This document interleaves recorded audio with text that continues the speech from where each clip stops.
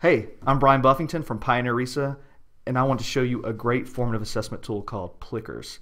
And it goes like this. This is not some hieroglyphic drawing I found in a cave. This is actually a student ID. And students would hold this up. See the number 14 on this one? I don't know if you could see that. A student would hold this up in class. A teacher would scan each one of these individually from the front of the room and get instant feedback on how well the class understands a certain concept and it's a piece of paper, which is great. So troubleshooting with pieces of paper is a lot more simple than clickers if you if you've done the clicker route before, which are cool too. This is low tech, high tech. So what happens is the teacher takes their device, scans the room, scans those, and gets instant feedback. I want to show you how to set it up step by step. Is that okay? We're doing it. Let's do it. So let's go to plickers.com. We're right here, right now. And first thing you want to do is set up a class. So you go to classes, I guess you have to make an account too. That's important. So make the account, then set up classes. So if you're teaching multiple classes, set up multiple classes. Right now I have one. It's called Union Leadership. I click on that, and no problem. I can um, keep adding students if I want to to this class. And if you can see, each student has a number beside their name. That is their ID and that's where their card needs to be or correspond to. So this is number 14, which number 14 is Phyllis down here. So Phyllis needs to get number 14. Not a problem. And I could print out the rosters. I could change. I could change the order. And um, so you got your classes. That's cool. That's not a big deal. So once you have your classes, one of the next things you need to do is um, let's make a question. We need to make a question. So let's go to library and this is where you type in a question. So currently you only get a couple options. It's multiple choice or true or false. So you would put your question in and then you put the correct answer, hit save. And it comes down here to these other questions. And the, the next important step is to schedule the, to add it to a plan, to schedule that question, add it to a plan. So for instance, right here, I could hit the calendar and it says add to plan and I would say union leadership, demo class, first period science, and it's going to add to that plan. And you'll know it's added to a plan because it has a, a circle beside the calendar. And these are color, color coded too. Uh, each class is color coded so you can easily recognize which question goes to which class. Now over here, these have already been used. These questions have been asked before to a group of people and it's in a report section. So you can see the report. I click on the question, and then I get feedback on how that class did with that question.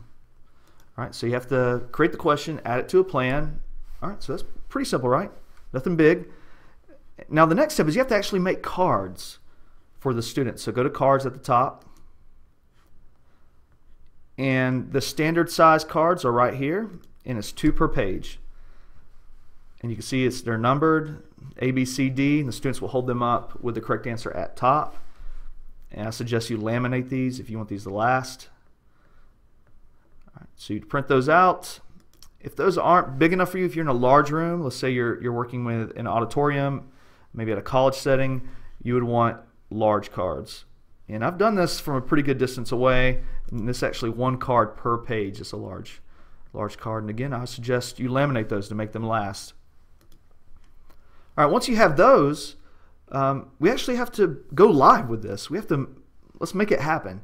So you give the cards to the students in the class, and you need to, the next step actually, you have to have the app on a teacher device. So I've got my trusty phone, and you can use your iPad or Android, Android device. And here we go. So here's the Plickers app. It's right here. I'm going to click on it. And here's the question.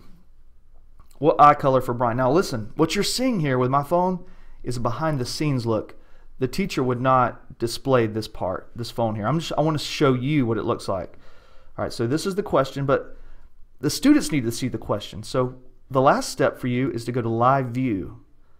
So you have your questions, you go to live view, and voila. So you're projecting this because you're probably already doing that with your with your computer. You're already projecting other things, videos that you're watching with them. So you just go to live view, they see that, the students have their cards, and now the teacher takes the camera and hits the camera button right here. I don't know if you can see that. Let me scoot it over just a little.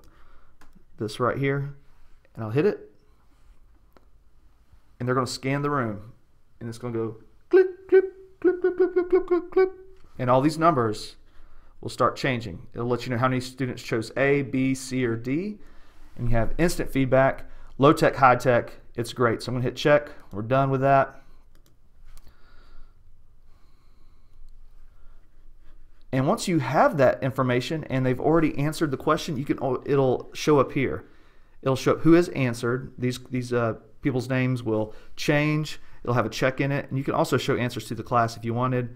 And then lastly, a graph, because you don't want to show answers while the students are doing it live, because that's going to um, mess up your results as students try to replicate other people's answers. So you don't want to show answers until it's all done. And that is Plickers. I hope you enjoy that. Use it as much as possible, share it with somebody you know, and have a great day.